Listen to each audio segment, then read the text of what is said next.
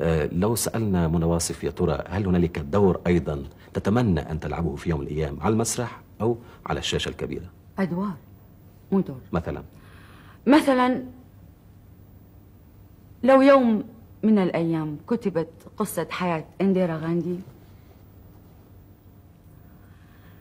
بتمنى إني ألعب دورها لأنه لما بتوصل في العالم الثالث مرأة لأنه تكون في مكانة انديرا غاندي السياسية والاجتماعية